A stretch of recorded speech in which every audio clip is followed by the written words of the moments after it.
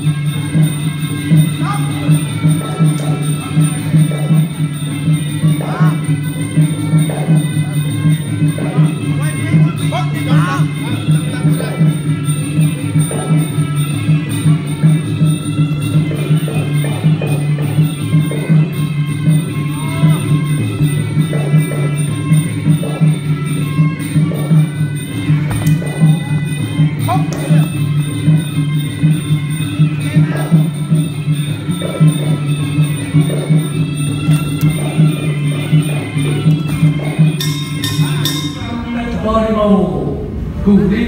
សេនាថាមិនបាច់ប្របាឲ្យបងប្អូនការពិភាក្សានេះបងប្អូនទស្សនាតាមកាយថាការប្រកួតប្រើស្នៀតប្រើក្បាច់ស្រួលមើលតាមបន្ទូដូច្នេះជ័យជំនះពីយកកង5គ្រូជំនះចាញ់ដោយឯកឆន្ទបាទទៅលើ